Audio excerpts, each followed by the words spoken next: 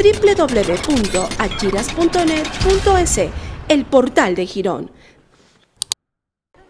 En la unidad educativa Remigio Crespo Toral de la parroquia La Asunción del Cantón Girón, al igual que en todo el país con régimen escolar Costa, el nuevo año lectivo arrancó con normalidad.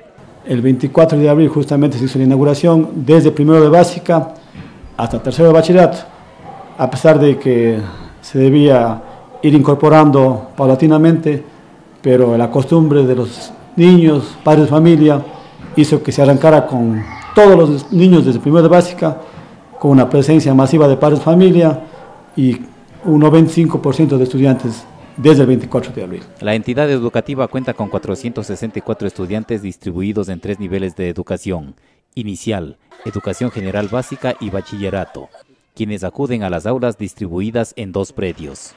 El antiguo bloque que era la Escuelita Alberto Muñoz Bernaza, que funciona desde inicial hasta séptimo de básica, y acá lo que era antiguamente el Colegio Remigio Crespo Toral, desde octavo hasta tercero de bachillerato. En un recorrido de este medio por las instalaciones, se pudo apreciar que están muy bien conservadas, y a decir del rector existe conciencia en el estudiantado para mantener los espacios en condiciones acogedoras y limpias, lo cual eleva la autoestima y se consigue con planificación.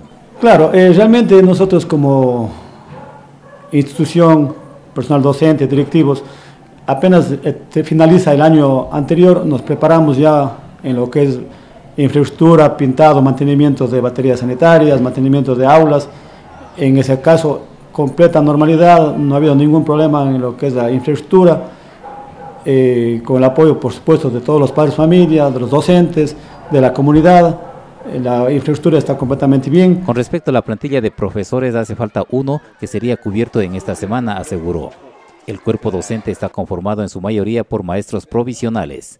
En el asunto de docentes, eh, contamos con 95% docentes actualmente, eh, tenemos ya inclusive ya la presencia del inspector general y un docente que está por llegar hoy o mañana. Todos tienen nombramiento, todos o sea, están divididos en nombramientos definitivos y nombramientos provisionales como manifiesta, como está la ley. La gran mayoría, hablamos de un 70% son provisionales y un 30% definitivos. Provisional son docentes que tienen, son elegibles, pero que aún no cumplen la fase final, que es la, clase demostrativa. Una vez que ellos hacen la clase demostrativa, están ya para pasar a, formar parte de normamientos definitivos. Los uniformes y textos escolares aún no eran entregados hasta el 9 de mayo, día en que se hizo esta cobertura, y se esperaba se lo haga hasta concluir la semana. Todos los años ha sido hasta décimo de básica, desde inicial a décimo de básica, lo que son uniformes. Textos es para toditos, pero teníamos con comunicado eh, oficial del distrito de que este año se va a implementar para bachillerato también los que son uniformes. Entonces es posible que en esta semana mismo, máximo hasta, el día viernes, ya no llegue lo que son textos y los uniformes para nuestra unidad educativa.